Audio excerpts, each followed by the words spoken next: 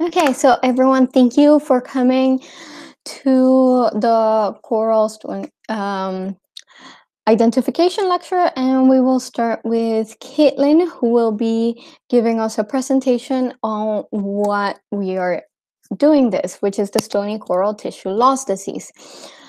Um, we all work for different NGOs and or are volunteers for them. So the organizations that are helping us out is uh, the Bay Islands Conservation Association, Coral Reef Alliance, and uh, the uh, Utila Coral Restoration Program. So we will have a, um, a small like 20 minute presentation or 20 minutes, half an hour presentation on what this disease is and why we are so worried about it that we called this meeting to just uh, reach as many people as we can onto why we're doing this. And then we will have the first part of the coral identification lecture.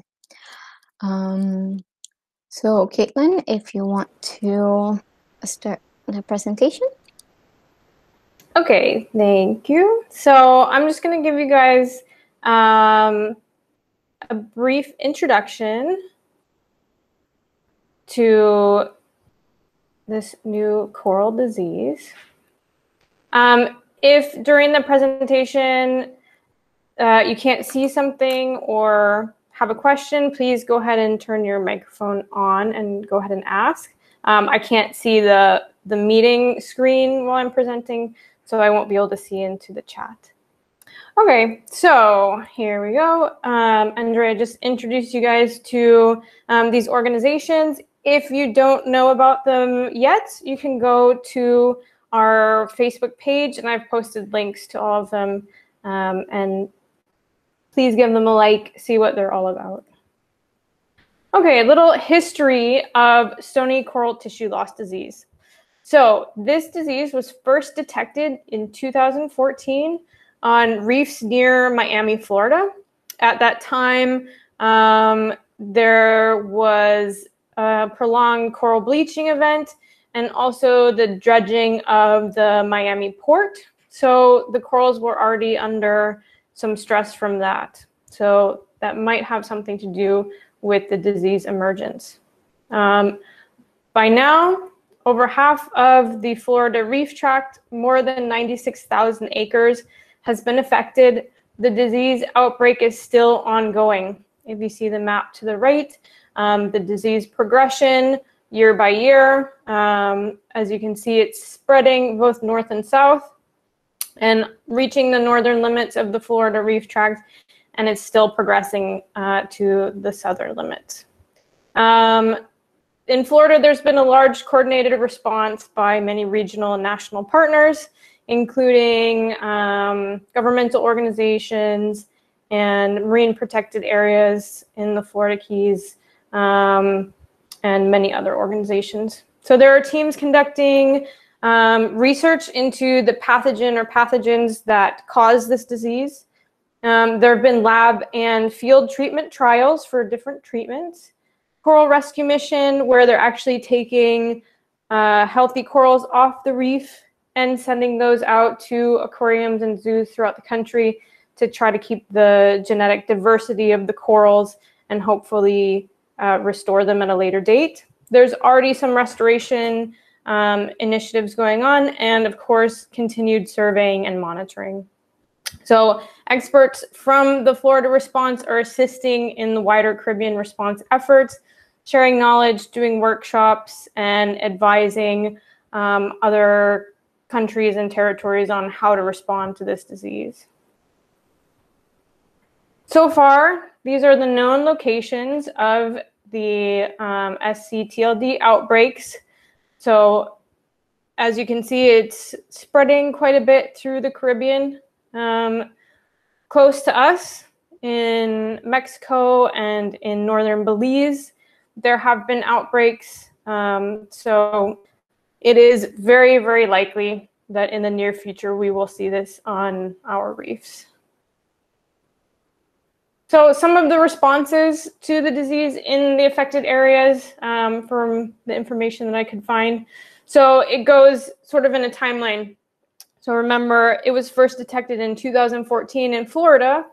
Um, the next place that it popped up was in Jamaica in July of 2017. Um, this followed a bleaching event. So again, that could have something to do with the disease emergence. Um, next, in the Mexican Caribbean, a year later, in July 2018, um, they've been doing very active intervention, monitoring, um, and assisting the response in other countries, sharing knowledge. So we've gotten some, you know, good um, advice from from people there. Um, in St. Martin, it appeared in October 2018. Interestingly, a survey in February 2019 found higher disease rate in the non-marine protected area reefs, 60% versus 70% of highly susceptible species. So um, it seems like maybe um, reefs that are under less stress, so in protected areas, are better able to deal with the disease outbreak. Okay, the U.S. Virgin Islands, um, January 2019. So they've put in place specialized strike teams. Um, they're doing antibiotic treatments on the reef and containment intervention by actually removing some infected corals from the reef. Um, you can see a link to that story on our Facebook page. Um, Dominican Republic was detected in March 2019. Turks and Caicos Islands, spring 2019. Um, they've been doing ongoing monitoring and recently, just this year, got approval for use of antibiotic treatments on the reef. Um, Belize was detected in June 2019, so they're continuing monitoring, doing treatment applications and international cooperation. Uh, St. Eustatius was detected in August 2019. Puerto Rico, December 2019 um, in the Bahamas off Grand Bahama in December 2019 as well. Uh, they have an established task force surveying and have uh, put out recommendations to boats and divers um, to try to slow the spread as this could be spread through boat ballast water. Um, British Virgin Islands was detected in May of this year. They're conducting monitoring, treatment, and um, a big community outreach effort and the Cayman Islands just recently, June of this year, um, they're monitoring the infected corals and right now developing a rapid response plan. So, brief intro into coral diseases. So, I am not an expert on this subject, but luckily, Danny from Utila Coral Restoration is more of an expert, and she will be giving us a detailed presentation on coral diseases um, in the coming weeks. So have a look out for that, and she'll be able to give you a lot more info. Um, just some things to be aware of. So there are over 30 known coral diseases in the Caribbean. Um, stressed corals are left vulnerable to disease. Most diseases are caused by bacterial pathogens, although not a lot of the pathogens have actually been identified. Um, there's a correlation between disease occurrence and degraded environment. So poor water quality, especially from um, runoff, sewage, sedimentation, so what's called nutrient pollution in the water. Um, there's a more uh, higher instance of disease rate in corals. Some diseases also correlate with an increase in water temperature. Not all diseases cause immediate tissue loss or death. Um, some common coral diseases that we see here at Utila, um, white plague, this affects our stony corals. Um, white band, that affects only the acroporid species. Dark spots disease and yellow blotch disease. So in our second, more in-depth presentation, um, I'll show you some more examples of what those diseases look like. Uh, you can see the pictures of the, the brain corals on the left. So the top one is nice and healthy. Um, and the bottom one, you can see the disease line. So you can see the white area of the um, exposed dead skeleton. Above it, still healthy coral, and below it, where the algae has grown over. So that is what um, a diseased coral can look like. Now, a little bit about stony coral tissue loss disease and why we're concerned about it. So again, it's a new disease and it's very aggressive. Okay, it affects 20 plus reef building coral species or stony or hard corals, um, which is pretty devastating because that's a huge amount of species and these species are super important to the reef. Okay, so um, this disease is a big threat to the reef biodiversity. Imagine losing 20 species of corals all at the same time. Um, it has it can have huge economic impacts to tourism, fisheries, and also the coastal structure because these are the important um, reef building corals. Without them, our reef loses structure and we lose that important coastal protection. Um, the cause is still undetermined. A bacterial pathogen or pathogens are suspected. Um, the disease spreads through direct contact, so coral to coral, also via ocean currents and likely through ballast water from ships. Very important, it has not yet been detected here in Utila. We need an early warning for uh, effective disease control and prevention. So that's why we have asked you guys here to help us out with looking out for this disease on the reef. Okay. So on the right, you can see a little close-up of um, our mountainous star coral, MCAV. Um, on the left, the brown sort of fleshy bit is the healthy uh, living coral tissue. And then on the right where you can see it's white and you can see the little ridges, that's actually the skeleton of the coral. So there's no living tissue covering it. So that's important to keep in mind when we're looking for this disease um, to be able to tell the difference between the living part of the coral and the actual dead skeleton. Okay, so how can we tell if what we're looking at is SCTLD?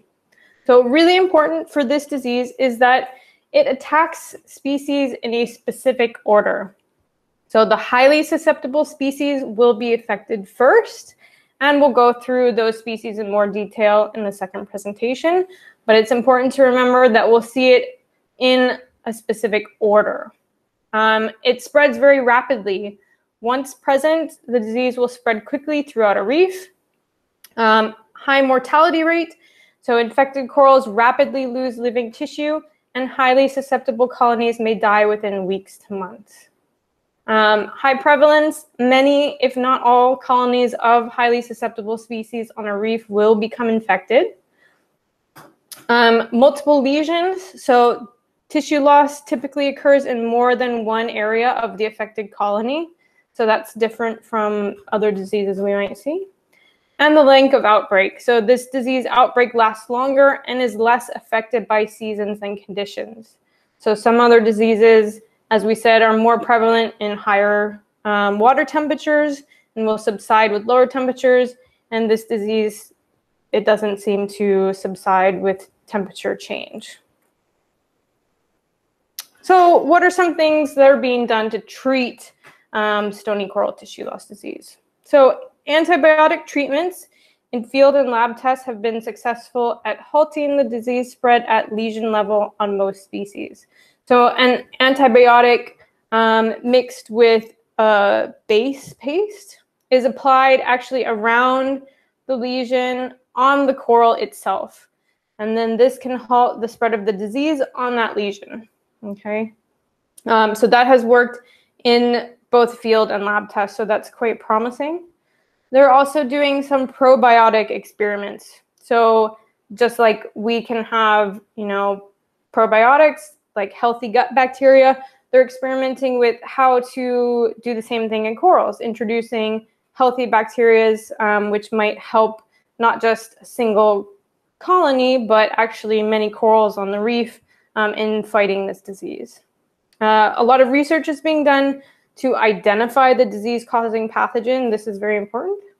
And continuing monitoring and data collection, restoration, rescue, and spawning programs, and knowledge sharing um, between different countries and communities.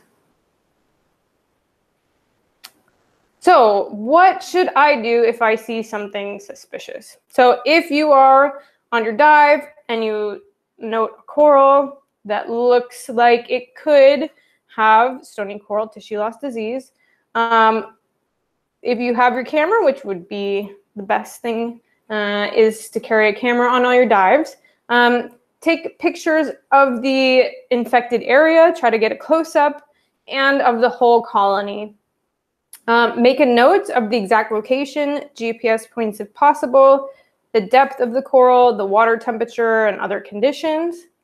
Um, it's really important do not touch any infected corals because remember the disease spreads through direct contact. Do not dive in a separate area of reef.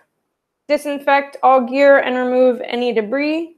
And report the sighting to the response team Facebook group. Okay, so if you do see anything, please take those photos, make your notes, and post the photos and your observations to the Facebook group.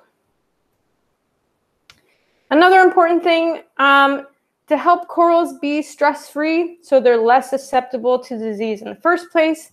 Um, do not use chemical sunscreens and try to encourage your friends and other divers uh, to not use chemical sunscreens as well. Cover up whenever you can and use only reef safe sunscreens. Use um, natural or biodegradable mask defog while diving. Very important, use your best buoyancy and teach your divers the same. Avoid stirring up the sand or sediment and keep hands, fins, cameras, gauges off the reef. Limit your chemical impact by choosing biodegradable personal care and cleaning products because as we know very well here, whatever we put down the drain ends up eventually in the ocean. Um, consider your carbon footprint. Again, um, climate change is, you know, a big worry for coral reefs around the world. So whatever we can do to limit our carbon emissions is helpful for the reef and help spread the word. Um, you know, try to educate your friends and other divers about the issues facing coral reefs and try to spread the word through your social media networks. Okay, so we need your help. Um, so become part of our network of coral observers and help us look for signs of SCTLD. Um, if you haven't already, go ahead and like our Facebook page. It's called Stony Coral Disease Info Utila. Um, you'll find lots of links to resources about SCTLD. Um, we're trying to post as much info there as we can. And then join the Facebook group um, SCTLD response team post photos of any corals that look suspicious there, ask others in the network to watch certain dive sites um, or corals for developing disease. And through that um, group, we'll keep you informed of Utila's plan of action and share our resources and support. So together we can keep our reef healthy and happy. Woo.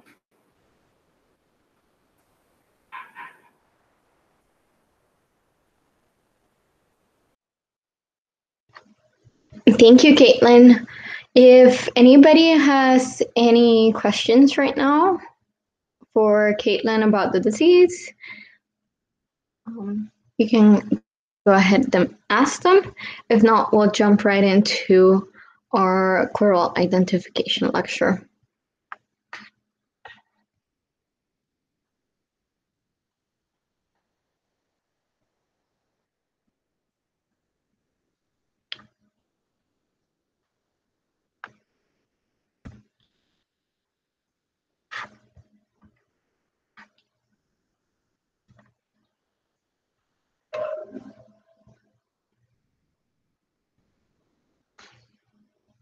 Okay. Okay, everyone. So now we'll look at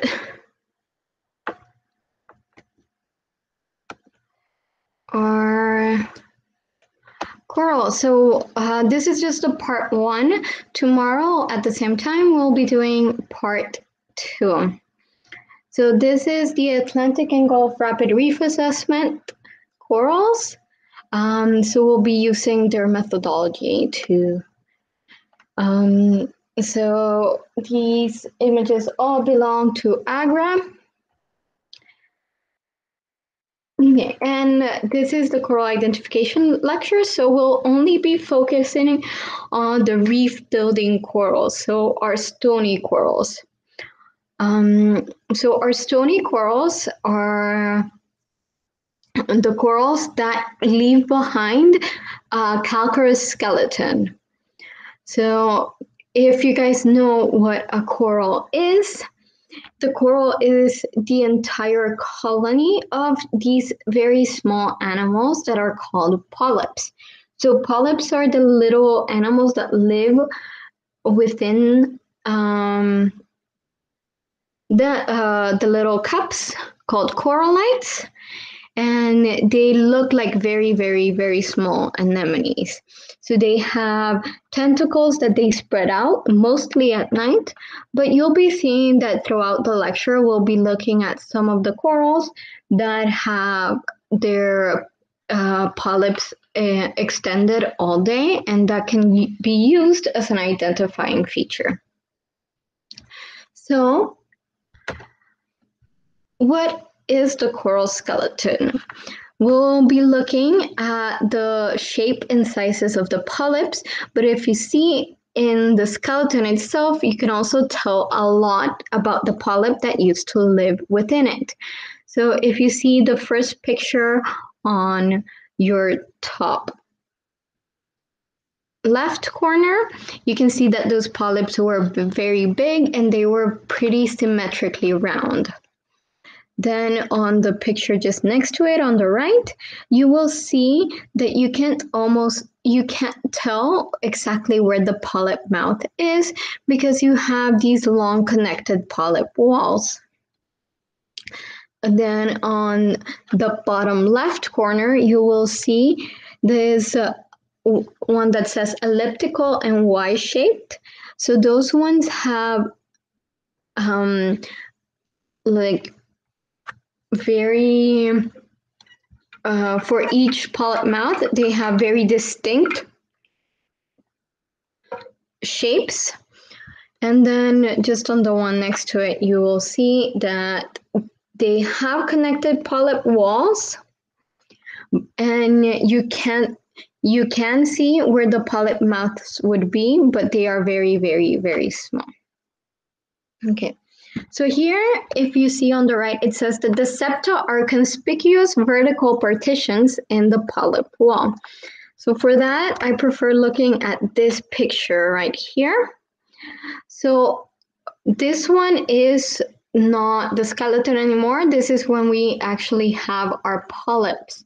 As you can see, these polyps are not extended, they are contracted in, but you can see where the polyp mouth is right in the middle. You can also see what is called the septum, which we were looking at before when it said septa, it said that it was the partition of the wall. So if you see where the mouth is, it's where the wall starts. So that is the septa. The corallite is the entire cup that holds the polyp itself. The oral disc is just where the mouth is. And then the costae is the other side of the septa. So if you have a wall, the costae would be the outside of that wall. Do we have any any uh, problems with this vocabulary? Please let me know. I'm gonna look at the chat. Let's See. No.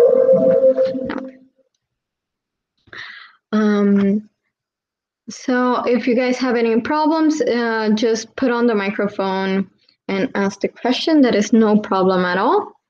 Um, because that is a vocabulary that we'll be seeing a lot throughout this entire presentation. Okay, so what are we looking for underwater? It does have a certain way that we see so the first thing is going to be the most obvious one, which is colony shape. So when we are looking at a coral, some there are some where we just look at the shape of the colony itself and we can tell exactly what it is. So, for example, we have the elkhorn and the staghorn corals, and those ones are really, really easy to visually identify. As soon as we see it, we can be like, okay, that is an elkhorn coral. And that is, we can know that just by looking at the shape. There are other corals that we can also tell just by looking at the shape, but I think those are the most distinct ones. So if we look at the shape, then we'll look at the size. So is it a very small coral colony or is it a really, really big one? You'll see that certain corals will distinguish just by how big the colony is. We'll look at other identifying features, but sometimes your number one giveaway of what coral that's going to be is going to be the size of it. Then we'll look at the colony surface. So the colony surface is where those little corallites are, where all of those little uh, polyps are. So you'll see whether the polyps create a bumpy uh, sur uh, surface or if it's smooth or if it's kind of like with indentations. So that's another big giveaway as to what coral we'll be looking at. If these three still haven't given you, you're still like, I'm still not sure what uh, coral this is, then you start looking at the polyps themselves. So you'll look at the little corallites and you'll see are they small, are they big? That's going to be another very big clue. After that, uh, we'll look at the polyp shape itself. Uh, so is it round, is it elliptical, like what shape is it going to be? After that, if we're still not sure what uh, colony we're looking at, we might look at color. So corals have little algae that lives within it that provides it some of its food, actually most of its food, between 80 to 90%, depending on the colony. Um, but depending on what kind of algae that they accept, they will have different colors, which is why you'll see that certain corals uh, the color is going to be um, a very good clue as to what coral we are looking at because they only accept a very specific type of algae. Whereas with other corals, they will accept several different kinds. So the color can be very uh, highly variable. So if we're going to be looking at color to tell what coral it is, it is better if we look at some of the other things as well. And then the last one, if we all, we looked at all of the previous ones and we're still not sure, we can also look at the septal shape. So if you remember, the septa is the little wall that borders the mouth of the coral. So we'll be looking at that as well. Uh, for that one, it's only in a couple of the corals that we actually have to look for uh, the septal shape. And I will tell you guys as we are going along with this uh, how to look at that. So uh, I'm going to leave the link and it's also on the Facebook page to a Google Drive folder where we have all of these presentations. So in case you guys want to look at it or review them afterwards, you can definitely go ahead and do that. So during this presentation, we'll be focusing mostly on like how to identify this. So think of yourselves as underwater detectives trying to figure out what exact coral we are looking at. Now, for all of this, because um, common names change quite a lot, and uh, even the even the scientific names can change. Um, as of a couple of weeks, these are all the accepted names. But in case any of those changes, uh, we'll be letting you know in the group. Um, but because we are not going to be using the common names, we'll be using what is called the CARICOMP coral codes. They are very easy. and they are easier to learn than the entire scientific name. So let's take one of my favorite corals. It's Orbicella faveolata. And what you are going to do is you're going to take the first letter of the genus name. So from Orbicella, we'll take the O, and then we'll take the first three letters of the species name. So faveolata, that would be fab. So that gives us O fab. Now, what if we can't identify the coral. We can't, like, we are looking at it, and Orbicella faveolata actually used to be in, classified along with other two corals as the same species. And then back in 2012, uh, they realized that they are actually three different species in two different families. So now, uh, those are all three separate species, uh, but they used to be thought of the same because they just look so similar. So, if you can't tell which one of these three species it is, then you can just put Orbi for Orbicella, and that's also acceptable because uh, um, we just need like the general information uh, we try to be as specific as we can, but if you guys can't do that or you just don't remember it, you can also write like something that helps you remember or just the family name. Um, but as much information as you can give us, that's great. So this is the one that I was talking before, where Montastraea annularis was actually reclassified as three different corals. Uh, so we'll be looking at those first. Okay. So any questions at all on the uh, vocabulary that we will be using or the coral codes so far?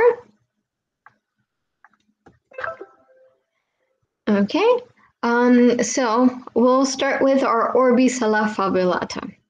So our OFAV is going to have a lot of bumpy polyps, but in those, it will also have a lot of lumps throughout the entire colony. This is one of the most common corals that we get here. And so this one will be easier for us to identify if we go out snorkeling or diving. And what you'll see is that it has a lot of lumps, but all of these lumps form kind of orderly lines. So all of the lumps are very um, kind of like they're forming a queue. So if you see here, they it can grow when it's you know, shallow or has a lot of light hitting it, it grows into this mound. Whereas if it's deeper or has a lower light hitting it, then it grows like a plate. But if you see in either of those two, you will still see the lumps and the fact that the lumps all form little, uh, almost symmetrical lines. Another thing is if you can't like you see that a coral is bumpy but you're not really sure is you look at the edges of the colony. So if you see in the picture that says uh, low light conditions you will see that the edges skirt outwards. So that's another very good identification point where the edges will flare outwards instead of holding onto the substrate so if you see a coral and you're like, okay, I'm not really sure, just look at those edges. Our next one that got reclassified is our Orbicella annularis, or our ON. So it'll have very similar polyps, but it usually has lighter colors than the Orbicella faveolata. It grows in large colonies and you'll see that these colonies kind of form little columns like vertical columns and on these vertical columns or pillars you will see that the uh, lower bits are dead and that all of the live polyps are at the top. This doesn't mean that this colony is deceased or that there was something wrong with it. This just means that the um, polyps at the top are growing and towards the light. So that is perfectly fi- uh, fine colony, and you will see that in the different columns, um, it's still one colony. Like all of those, even though there's quite a few colonies that appear to be um, connected by dead skeleton, they're all still the same colony. Another uh, another thing that might happen is that the columns may topple and scatter um, by completely natural reasons, but that is still going to be again the same colony. You you see in this picture, you can tell that the colony is the same core, uh, the same color at the top, and that's another going to be another uh, because even in uh, different colonies close together, you might see some color variation. So that will let you know um, what part um, is each column a colony of.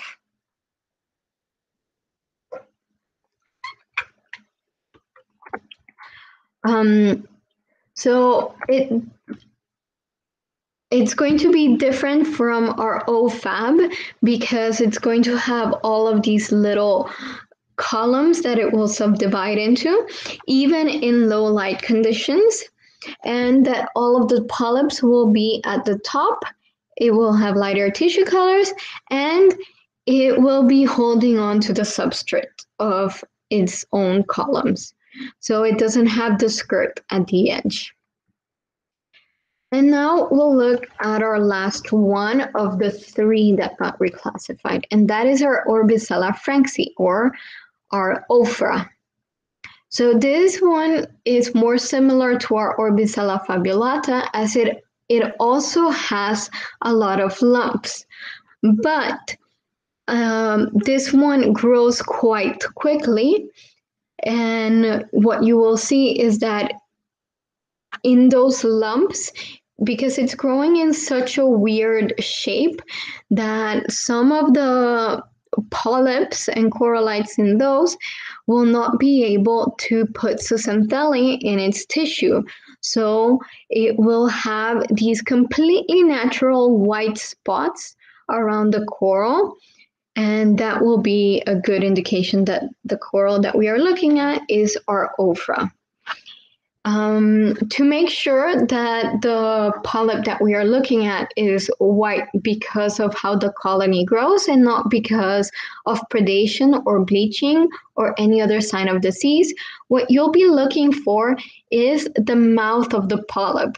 There will always be a certain tint to the mouth of the polyp when that whiteness is due to natural just this is the way the coral grows rather than something happened to it. So always look for the coral uh, for the color around the polyp mouth itself as you can see in this picture.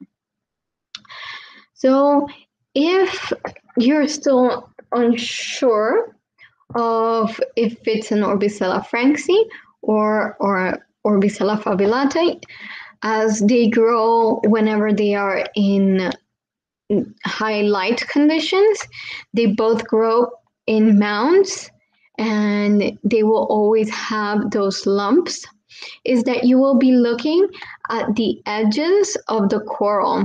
So this one is going to be holding on to the substrate so it won't flare out like a skirt. It'll hold on to the substrate and it will have bigger polyps towards the edges of the colonies. So um, you will see that the edges of the colonies have bigger polyps in comparison to the ones in the middle, whereas with Orbicella faveolata, all of the polyps will be very symmetrical in shape. And if you see in this picture, you will see that it has those natural white spots, but it also has a lot of lumps that kind of just grow everywhere. So here it says they are the bumps are irregular. Um, and it'll differ from Orbicella annularis because uh, Orbicella annularis grows into those distinct columns, whereas this one does not. Okay, um, so we'll be asking you guys uh, to give us some questions, some answers here. So, uh, Maka, do you want to help us out and tell us which one of this is which? You can just turn on the microphone.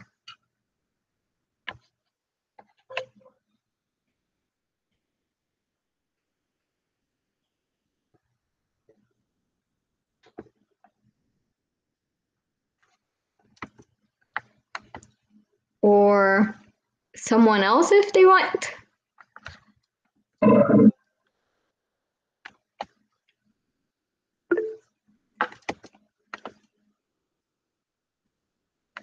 It's not turning. I think you can just do Control D to turn on the microphone.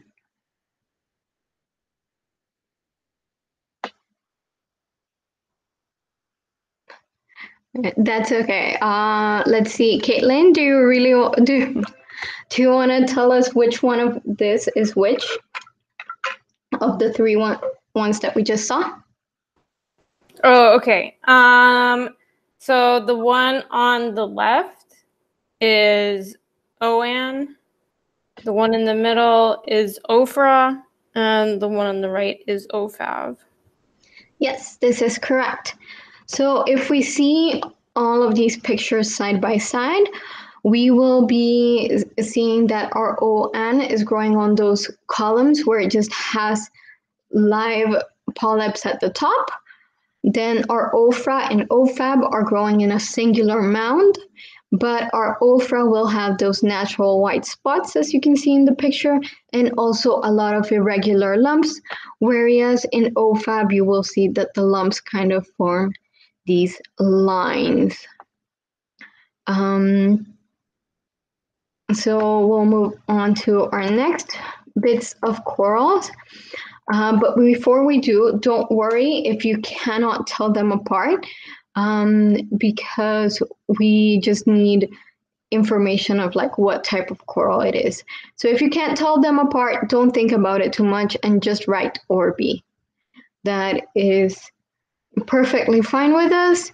And it, again, even if you can't tell them apart while you are underwater, you can just take a picture, send it to us, and ask for our help in identification. If you are doing this, we do ask that you take um, a couple of pictures to take one of like the entire colony, one of uh, closer like look at the polyps. And if you see any sort of disease, then you take a picture of where the disease is and send those to us. So don't worry about it too much if you can't really identify them. Now we'll be looking at our Solenastrea bournoni. So this one is our SBU.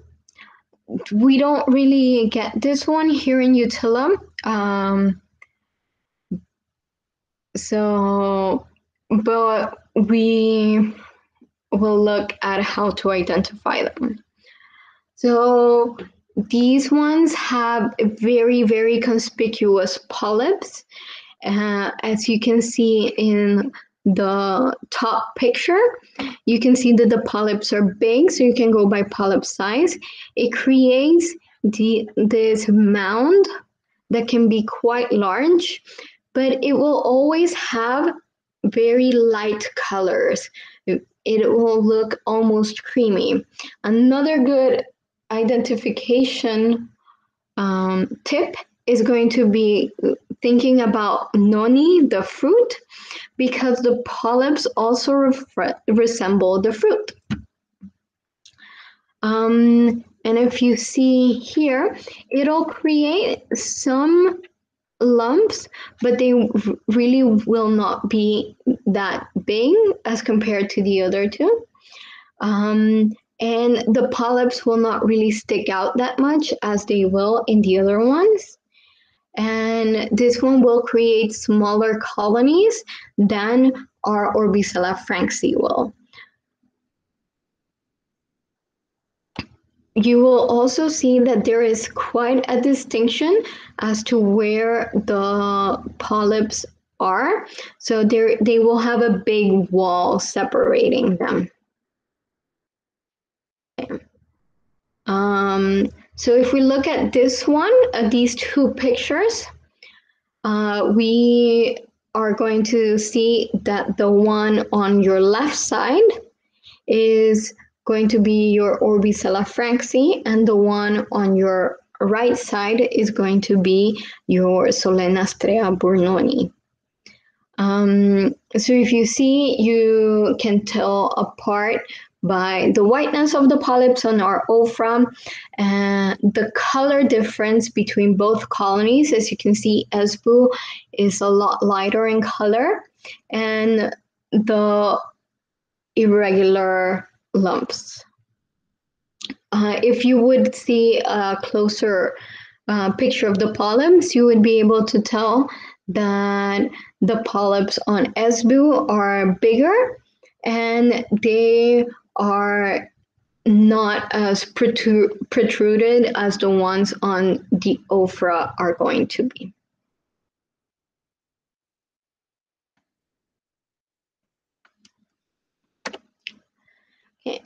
Now this is a coral I have never seen on Utila. Um, but if you guys see it, please let me know because I want to see it. Uh, we'll teach you how to identify it just in case uh, and or Solenastrea hyades or um, Shia. It's going to be similar to Bournoni as it will have light colors and it has very distinct walls. But in this one, the polyps will be more irregularly shaped. They will be more boxy looking than the ones in Bournoni and it will create these lumps, but the lumps will kind of head upwards. And because the the coral size will also be smaller when you're talking about the entire colony, it will almost look like it, this really deformed hand. Um, so you can think of the Hades hand reaching up from the underworld. It's how I remember it. Um, but with size is a really good way to distinguish this one. I know in pictures this is not going to be very easy, but we are not going to only be looking at pictures, we'll be out there in the water looking at these coral colonies. Next, we'll look at our Montastraea cavernosa, which is our MCAV. And this one is really, really, really easy to identify, even though it has so many different ways that it can grow in. And this is because it has really, really big, round polyps that exert outwards. So they almost look like buttons. So they are very large, round, fleshy polyps. They will be around one to two centimeters in diameter, uh, sometimes even more than that. And this will also have, when you have it in highlight, it will create a mound. And when you have it in um, at depth or in low light, you will have it as a plate or as a cr- encrusting coral. And you will see that it'll still have those exert polyps that kind of looks like buttons you want to press, kind of like a cave that you can go into. So that's a good way to remember the name of this one, MCAV. If you want to remember the full name, just think of monster caves because the polyp is so big. Another thing, uh, if you see here in Utila, is that, um, for example, at the wreck, you will see quite a lot of these colonies that are fluorescent or a bright red. And whenever, and if you try to take a picture of it with flash, that red will not show because it is caused by a fluorescent protein. Um, so it'll produce this. Uh, you'll see this in several uh, corals, but this is one of the best examples that um, MCAV does have.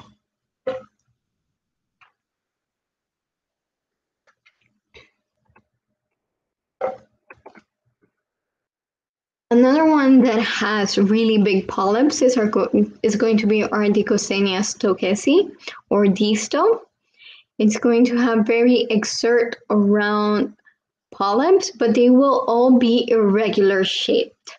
So whereas before with our MCAV, um, all of our polyps will be around the same size, um, these ones will all be uh, kind of different shapes. If you see at that right picture, uh, another thing that you can see is that the corallite has little teeth at the top.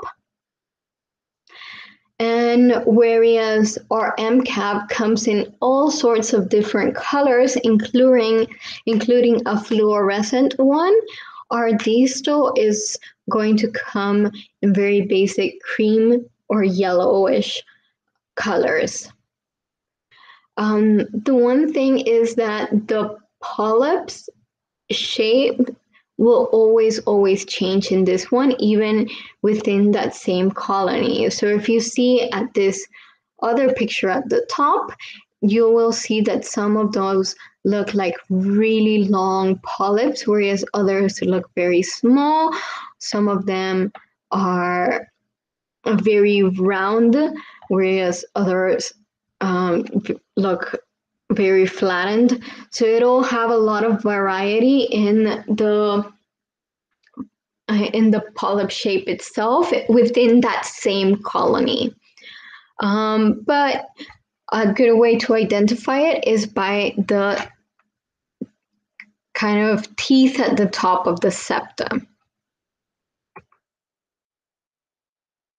If you um, there is a smaller type of Dichocoenia, which is a very, very small colony, and it kind of looks like a smaller, uh, like if you were to flatten out Dichocoenia stokesii. So for that one, you just put this.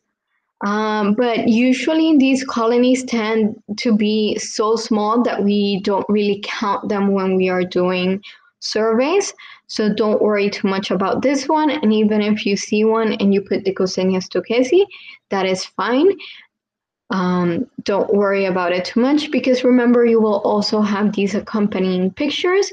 And even if you don't, Dichocoenia or Dichocoenia stokesii is fine.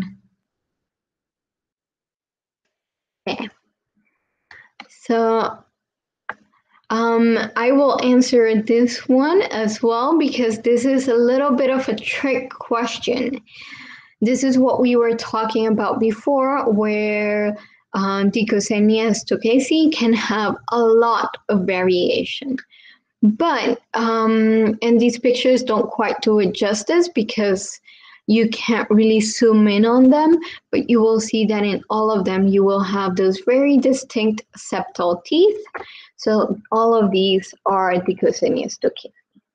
If you see, some of them have very exert polyps, like you can see on the second one from the right. Some of them have these long lines uh, on each polyp, like you can see on the first picture from the right, and others look less so, as you can see in the two left pictures but these are all the same colony. Another thing that you can tell here is that they're all kind of in that yellow um, color, whereas uh, our MCAV can be all sorts of different colors.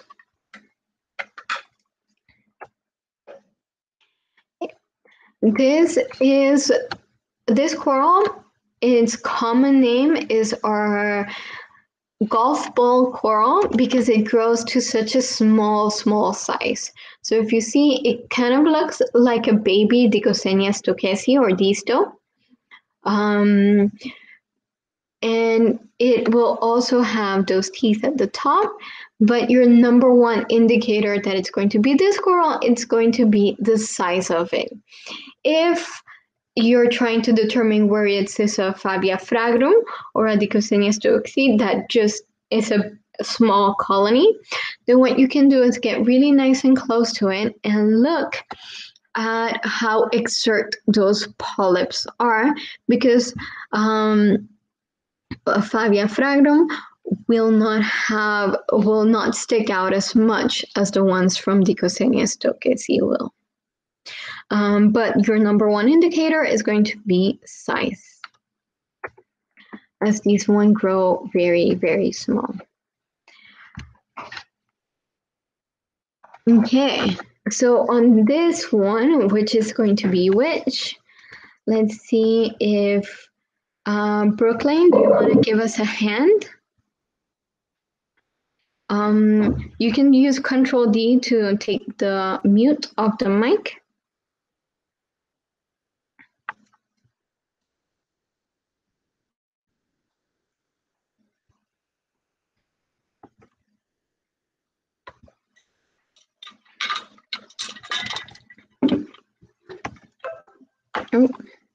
So uh, this is no longer a trick question.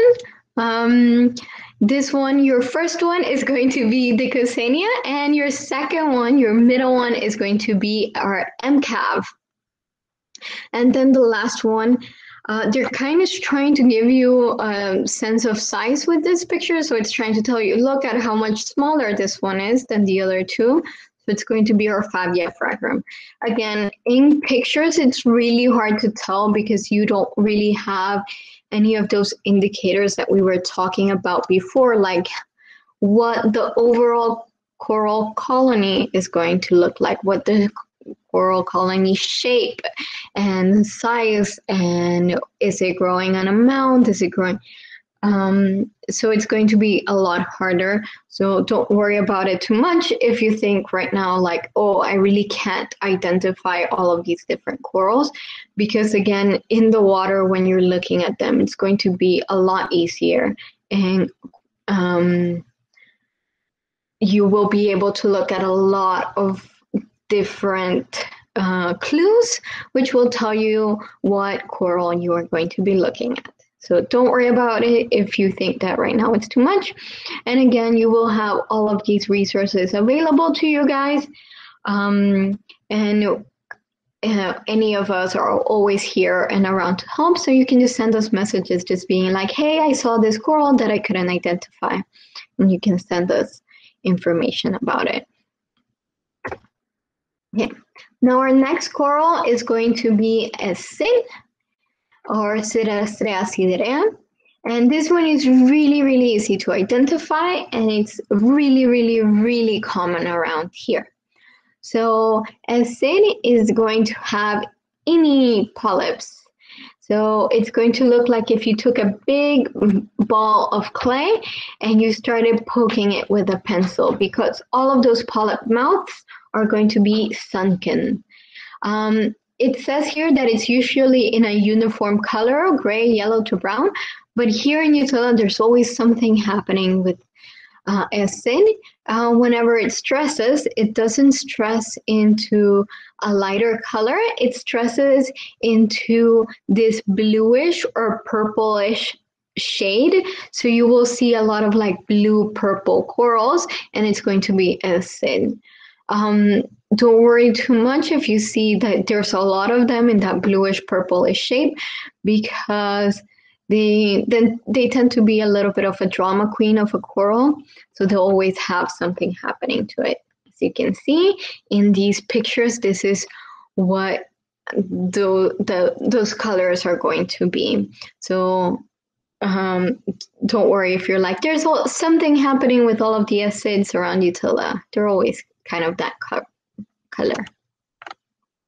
Now, there's another coral that looks very similar to a sin, but instead of having um, where the polyp mouth is be completely in, as uh, in uh, our Siderastrea siderea, our S-rad is actually going to have kind of just pinched little corals. So instead of having like a full kind of almost whole, it's going to have just little pinched polyps. So it create uh, it will also be a lot smaller. Um, so whereas SSID grows into these big mounds, uh, our SRAD is only going to grow about 30 centimeters at its at most, and it's always going to be kind of encrusting over things. It will also usually be a lighter color. So you might think of it as an S thin that something has happened to it and it's bleached or stressed, but it's just a lighter color overall. It's going to be kind of a cream color, whereas the other one um, can have darker colors.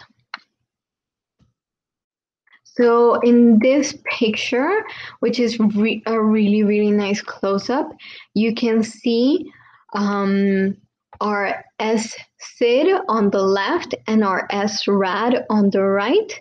And you will see that the SSID has those sunken holes where the polyp mouth is, whereas our SRAD, it's going to look more pinched. So it doesn't like fully go in, uh, it just looks like you pinched where the mouth is. Do we have any questions so far? You guys can ask them in the chat as well.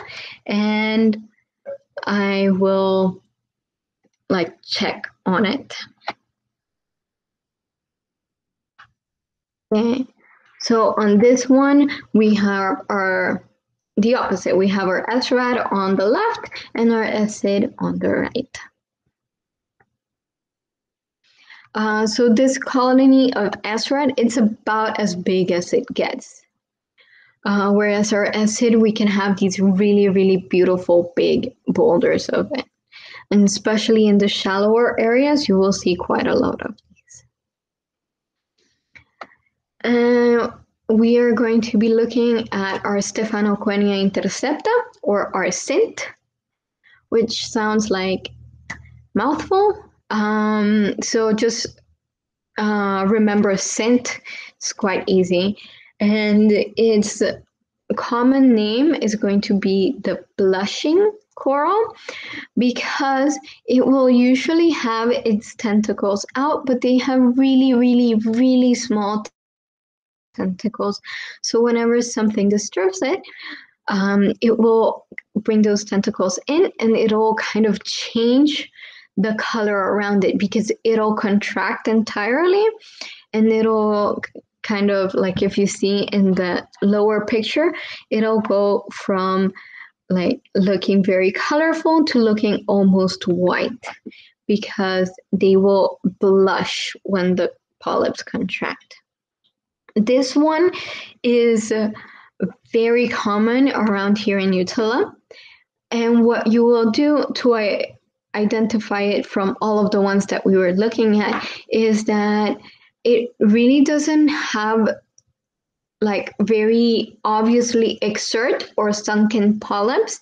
They do sink a little bit, but if you look at the polyps in a more close up way, it almost looks as if they were stamped on because it doesn't really look uh, sunken, like the ones we were looking at before, or SRAD and or SSID. So it just looks like somebody put the little cookie cutter shape into the coral um, and left everything as is. Um,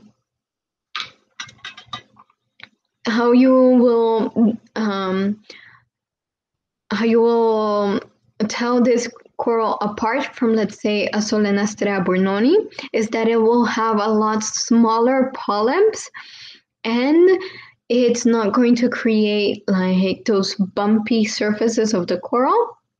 and it will also have very regular shapes um, where and our Solenastrea bournoni also has um, polyps that exert outwards. Um, but another way is that if you see a coral here, it's most likely going to be SINT instead of SBU.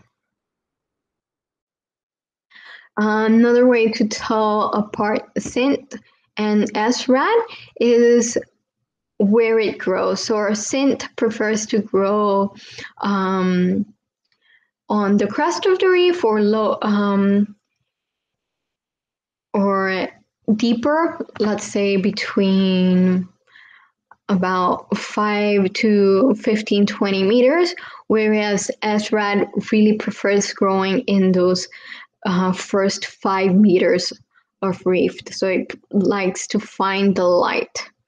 Uh, and it's also going to be by size because our Stephanocoenia intercepta is going to create really big uh, colonies, whereas our SRAD is going to create a lot smaller colonies. Uh, so in this one, uh, you can see that we have our SINT on your left. We have on our right, we are going to have our SBU. And right there at the top in the middle, you are going to have our SRAD. And uh, again, pictures really don't tell you that much about the colony because you can't really, let's say, look in and look at the polyps. Um, but you can tell just by the colony shape and size, whereas your SBU has those irregular lumps. Our SRAD is quite small, and the picture is also trying to give you that fact that it's quite small compared to these other two colonies and your SINT um, is going to be very smooth and you will see no obvious exertion or sunken polyps. Our Porites astreoides, I think, is our last coral that we are going to be looking at today. And one thing about our past coral is that it will have a lot of different uh, it can grow in a lot of different shapes. It can grow in mounds. It can grow in plates. It can grow in crusting. It can grow in a lot of different ways. And it will also grow in a lot of different colors, even in the same colony. So if you see uh, the bottom left picture, you will see two different distinct colors in the same colony. So it can grow in all sorts of different shapes and sizes, but a good way to be to tell where our past is going to be um, is that it will almost always have the polyps extended out. So all of the little tentacles from the polyps will be um, just out and it will make it look like the coral is very fuzzy. So it looks like a very fuzzy corals. Um, another thing is that it creates these very, very small lumps. Again, I know that these pictures don't quite show you size, but if you see at this top right picture, you will see um, the algae growing around it, it and that is a, a, very small algae, about two to three centimeters total. So you will see that those are very small lumps. So when we were talking about the other corals before that are lumpy, this one is going to have a lot of small bumps. But again, uh, out in the water, what you'll be looking at is that fuzzy look. So you might have to kind of uh, uh, get closer to the coral to get a better look and you'll see all of the fuss about this coral. Okay, so that is our last coral of today. If you guys have any questions, you can ask them right now. How do I stop presenting? There we go. so yes, if you guys have any questions, you can ask them right now.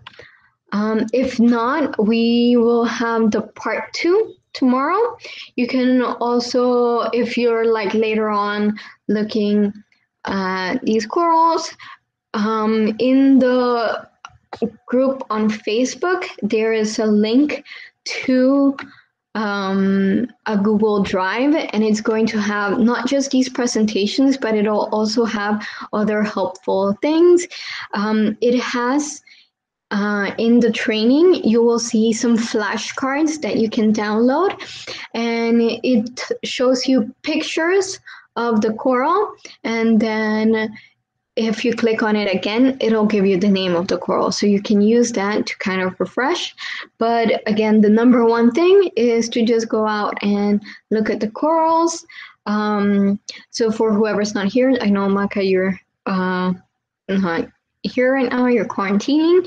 Uh, you can also look at past pictures. You can look online. You can use those flashcards, and they're going to be really helpful. There's also other links there. Um, and obviously, the internet is a great, vast space. So there's Coralpedias uh, that you can look at as well, but they kind of tend to have corals from all over the world, uh, whereas we are kind of uh, just doing um, the um, corals from the Caribbean and specifically targeting to the ones that we see here in Utila and the Bay Islands. Uh, so thank you so much, guys. And I will see you tomorrow.